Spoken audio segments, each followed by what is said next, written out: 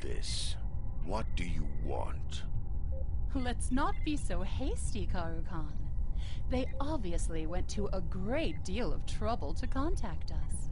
I am Loriss of the Dominion, temporary governor of Deep Space Nine. How can I help you? Thank you for agreeing to talk, Loriss. I am Captain James Kurland of the Federation Space Station Deep Space Nine. It is my hope that we can find a peaceful resolution to this conflict. Of course, Captain. You want your station back. But this is a war, and your station is my prize. I know this will be hard for you to accept, but there is no war. It's been over for decades. Your fleet was diverted when you attempted to pass through the wormhole. The prophets.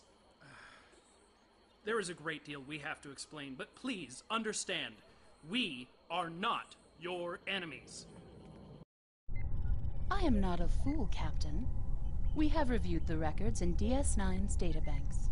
Why should I believe this fantasy of prophets and time travel? Show me proof that what you say is true.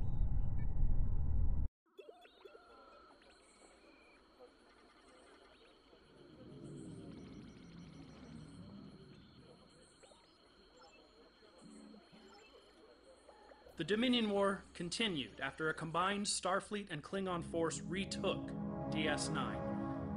When the Romulans entered the war on our side, things began to turn. The Dominion recruited the Breen to their cause, but the disease that was attacking the Founders put them on the defensive. They ultimately retreated out of most of the Alpha Quadrant, creating a defense perimeter in Cardassian space. Soon after, a Cardassian official named Damar led a rebellion on Cardassia Prime, breaking the standoff. The Dominion was forced to surrender. Do not try to deceive me. That cannot be what happened. Why should I believe these recordings are real?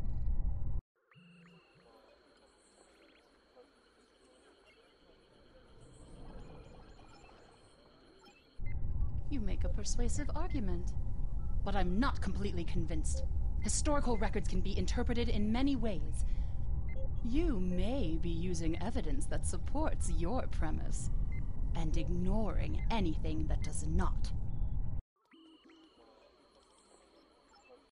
Enough! I will consider your arguments carefully, but you must understand that I am under orders as well. The Founders gave me specific instructions before I left the Gamma Quadrant. I accept that may have been many years ago. Nevertheless, mere time cannot countermand the commands of the gods.